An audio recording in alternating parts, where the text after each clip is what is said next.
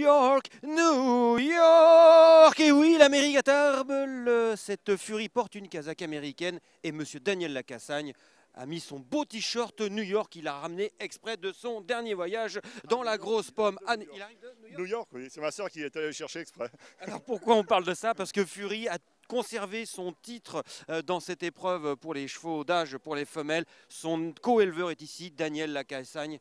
C'est un rêve éveillé, n'est-ce pas? Ah, C'est la meilleure. Il y en avait qui n'avaient pas bien compris. Je crois qu'aujourd'hui, c'est clair. Tout le monde aura bien compris. Fury est la meilleure.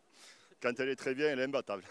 Et alors, ton ami d'enfance, il est où? Jean-Marc? Ah, Jean-Marc, il est où Jean-Marc? Jean-Marc, il court plus vite que les chevaux. Jean-Marc, viens nous voir.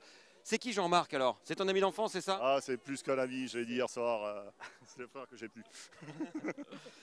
Écoute, c'est génial, c'est génial. Donc, euh, tenante du titre, comme tu disais avant, et, elle a remis. Euh, elle a remis pendule à l'heure Pendule à l'heure, exactement, ouais, Pourquoi Comment elle a fait pour revenir à point nommé? Parce que la dernière fois, ça n'avait pas été. qu'elle avait besoin d'une course, donc euh, voilà, elle était un petit peu plus affûtée. Et... la dernière fois, mais quand elle est bien, elle est maintenant.